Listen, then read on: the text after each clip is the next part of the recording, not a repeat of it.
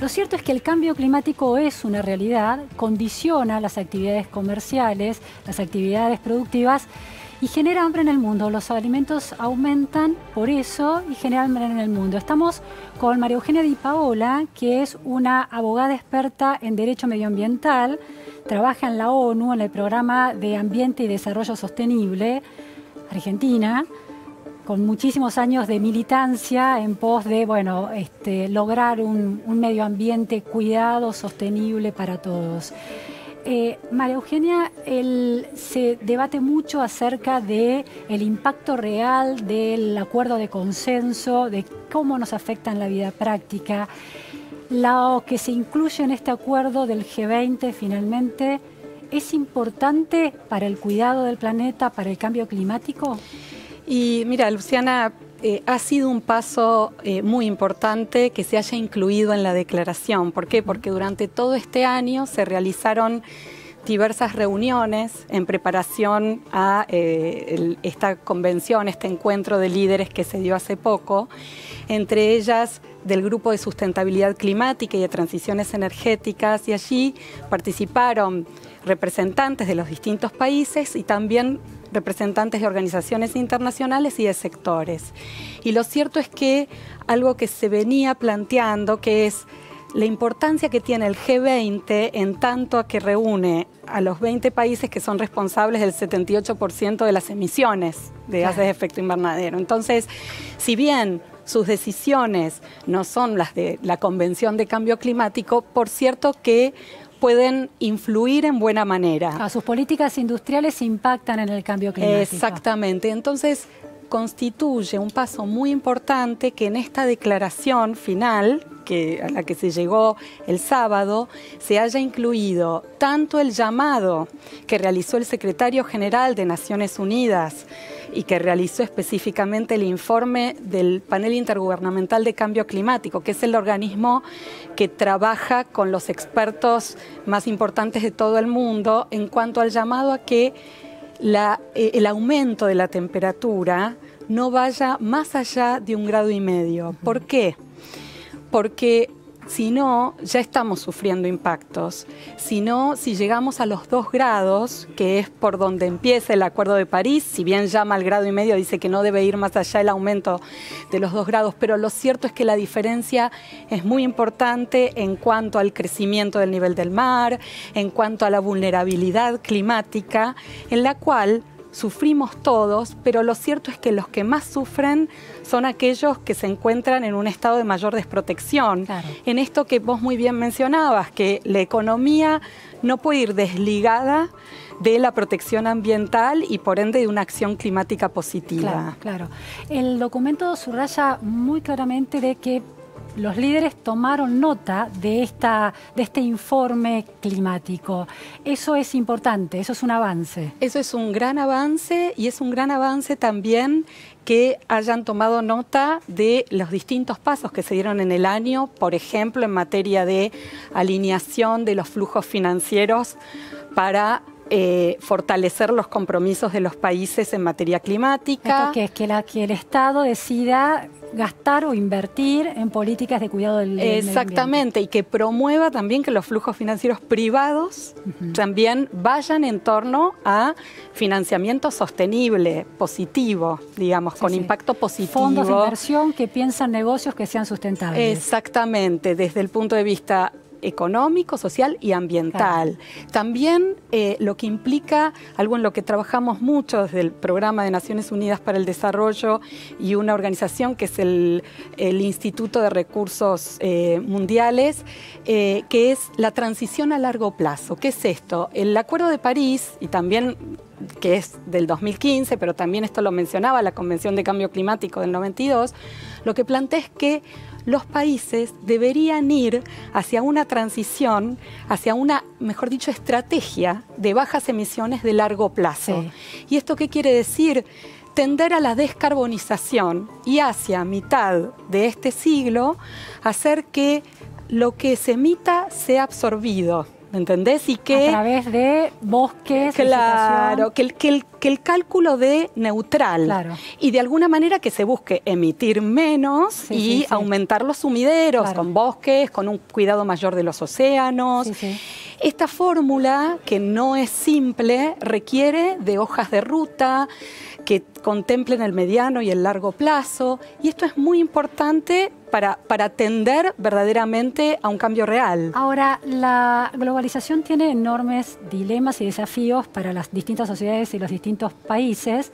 Hay muchos excluidos de la globalización y puede haber esta lógica de que atender tanto la sostenibilidad del cambio del medio ambiente en realidad ralentice los retornos de empleo y de desarrollo y de riqueza en las sociedades? Es decir, que las empresas al tener que considerar gastos para proteger el medio ambiente en realidad generan menos empleo, ahorren por algún lado? Eh, bueno, justamente lo que se plantea tanto en el documento como se plantea en, el Acuerdo de París y como, y como estrategia sine qua non, es que al contrario, que una economía con verdadero crecimiento es una economía que involucra el impacto positivo en materia ambiental, social y económica. Y de hecho, hoy la apertura del encuentro de Polonia, que es el que va a definir los procedimientos concretos para la, buena implementación del Acuerdo de París,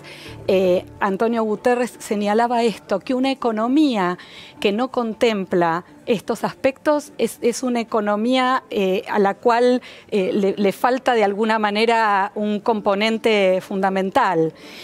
¿Por qué? Porque y en esto por eso es muy importante las estrategias de mediano y largo plazo, porque si no nos quedamos solamente en modelos más depredadores, extractivos, que solo ven el presente, pero no la transición hacia la sostenibilidad. ¿cómo, ¿cómo, cambiar, cómo cambia un, el CEO de una corporación global o un empresario, una empresa minera, quienes hacen agronegocios, una mirada puesta en el corto y mediano plazo de rentabilidad más rápida y segura y cómo deja y cómo empiezan a pensar la inversión en ese cuidado del medio ambiente como una inversión y no como un gasto, como un encarecimiento de su producción. Eso es un cambio cultural muy importante. Sí, sí, es un cambio cultural que involucra diversos tipos de esfuerzos. Por un lado, una ciudadanía y, consumidores que cada vez reclaman más este cambio en su vida y por ende en los productos a los que eh, acceden. Por otro lado, una política público-privada asociada y en este sentido, por algo, el subsidio a los combustibles fósiles ha sido muy criticado y ha sido puesto como uno de los temas a, trabajar eh, por parte del secretario general y también en, preparación a, la, conferencia, tanto en el ámbito del G20 como también en preparación a la conferencia de Katowice. Pero lo cierto, en esto que quiero decir, hay una combinación de esfuerzos que tienen que ver con qué pide la ciudadanía, qué pide el consumidor y la diferencia positiva, el valor agregado del productor o del empresario. Y cada vez más hay un convencimiento que eh, de alguna manera está pivoteado por este cambio cultural, pero también por una conveniencia económica en el mediano y el largo plazo. Cuidar los suelos y producirlos de manera sostenible permite sostener un negocio con muchísimo eh, futuro. Exactamente, porque el impacto negativo de una mala política ambiental, de una mala política climática, es en las personas, en los ecosistemas, y esos ecosistemas nos brindan un montón de servicios, y esos servicios tienen que ver con los que vos muy bien mencionabas. ¿no? Ahora, los, vos decís que los consumidores están de alguna manera eh, construyendo ciudadanía ambiental y exigiendo otra calidad de uso, de, explotación del medio ambiente o de producción a partir este, del cuidado del medio ambiente. Pero al mismo tiempo hay una lógica de la que es muy difícil escapar, que es la lógica del consumo y del descarte, ¿no? Entonces, las bolsas de plástico son como el punto más obvio de eso. Entonces, ¿cuán efectiva es esa construcción de ciudadanía ambiental realmente ante la tentación del consumo? Y yo creo que ninguna herramienta per se va a cambiar la realidad. Por eso es tan importante la visión integral. Es decir, si a una política de consumidores interesados por el cambio se suma un Estado que promueve este cambio, se suman empresas que ven este nicho.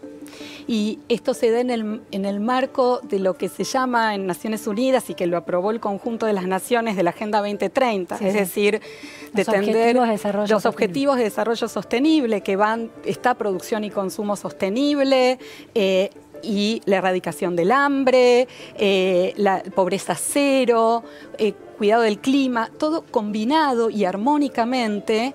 De esa forma se va a atender al cambio. ¿Qué pasa? Generalmente y, esto implica una acción ya y, a su vez tenemos que tener cierta paciencia. El tema es cómo combinamos esto para actuar, porque la verdad es que la realidad requiere que actuemos, pero desde una, una mirada proactiva sin tender a eh, quedarnos esperando la solución, porque si no puede ser tarde también, ¿no? ¿Cuál es el rol ideal de un Estado como el argentino para influir en ese freno de emisión de gases de efecto invernadero y el impacto en el cambio climático? En el sentido de, es estimular sectores, industrias que tengan un objetivo de sustentabilidad y sostenibilidad medioambiental es un regulador que controla y castiga a quienes no cumplen y cuán efectivo es en esas dos maneras de posicionarse? Y yo creo que ahí tenemos como las dos caras del, Estado y los distintos niveles y la articulación con la sociedad. Por un lado, la importancia que tiene un Estado involucrado en fijar objetivos y que esto en el Gabinete Nacional de Cambio Climático, por ejemplo, en el cual eh, viene actuando eh, el gobierno nacional y ambiente con las carteras involucradas de energía, de agricultura, ¿no? de seguridad. Es fundamental en esto la coordinación entre carteras para los esfuerzos que se tienen que llevar a cabo. ¿Qué objetivos tiene Argentina respecto de frenar el cambio climático? Eh, por un lado, em, lo que se plantea es una reducción hacia el 2030 en las emisiones que hubiera tenido en un escenario tendencial y lo que hizo Argentina fue primero presentar un compromiso en París que luego revisó, lo hizo más fuerte por este acuerdo y este trabajo político y técnico dentro del gabinete y que se plantea un conjunto, es decir, se plantea un monto de emisiones que son 483 millones de toneladas de carbono equivalente, pero que lo cierto es que ese, ese conjunto sería un 18% menos que el que se proyectaría si no se hace nada, se podría decir. Ahora bien, esto es incondicionalmente. También Argentina suma prácticamente el doble de compromiso si recibe ayuda financiera y técnica. ¿Y estos compromisos con qué tienen que ver? Con el área de energía, infraestructura, infraestructura tiene que ver también en, en materia de bosques y eh, desarrollo de las actividades ligadas al uso del suelo y tiene que ver también en materia de residuos. que prohíban ciertas prácticas y alienten otras. Exactamente, en materia de residuos e industrias. Y hay planes sectoriales que se están desarrollando muy concretamente y lo positivo de esto es que en estas proyecciones hay interacción con los sectores y con las provincias.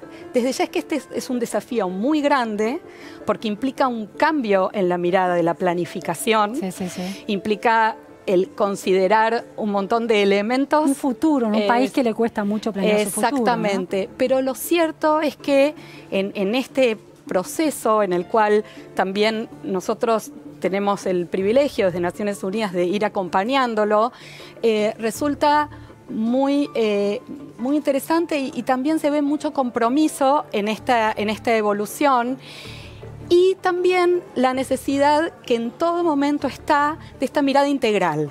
Es decir, de nada nos sirve pensar al cambio climático como algo separado de un desarrollo sostenible. Y eh, claramente en esto eh, es muy importante combinar las herramientas también de lo que implica el empleo eh, verde, de lo que implica la educación ambiental, de lo que implican los proyectos de sostenibilidad, que al fin y al cabo están íntimamente relacionados. Pero Eugenia, hubo un año clave que fue 2015 con el Acuerdo de París, Estados Unidos se acaba de bajar del acuerdo, ratificó que se bajó del acuerdo de París, eh, y con la eh, Laudato Si, del, la encíclica Laudato Si del Papa Francisco en relación a un llamado de atención acerca del cuidado del medio ambiente.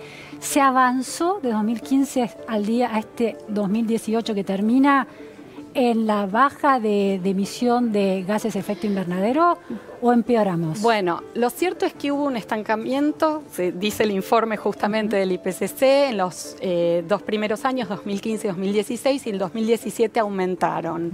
Y entonces hay mucha preocupación al respecto y por eso también la reacción muy marcada de este informe y la preparación ahora para que se le pide a los países, al conjunto, ¿no? que quintupliquen esfuerzos para que la temperatura no aumente más del grado y medio.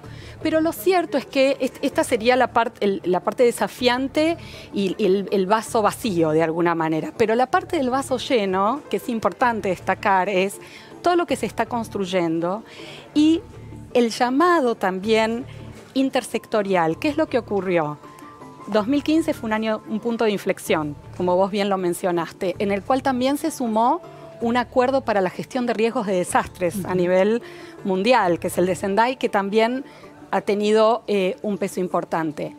Frente a la necesidad de generar cada vez más compromisos y más cambios para una acción climática efectiva, este año se realizó la cumbre de San Francisco, en la cual se convocaron eh, a gobiernos subnacionales, a eh, organizaciones, los llamados actores no estatales. ¿Y por qué fue importante?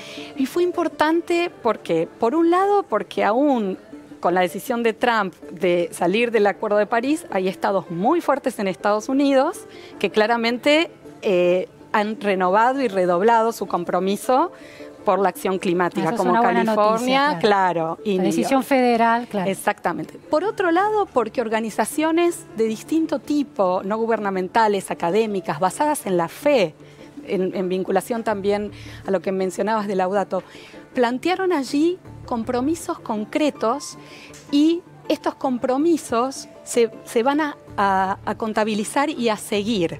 ¿Y qué es lo que plantea justamente en este sentido el informe del IPCC? La importancia que esta contabilidad de actores subnacionales y no estatales se profundice, se realice bien para poder verdaderamente efectuar un análisis y una métrica. y un impacto más exponencial. Exactamente. Bueno, muchísimas gracias. Vamos entendiendo en detalle. En un país que vive del cortísimo plazo y de la urgencia, la verdad que el cambio climático y sus metas a futuro desconciertan pero parecen claves para todos, para nosotros y nuestros hijos, así que te agradezco estas precisiones. Por favor, muchísimas gracias a vos.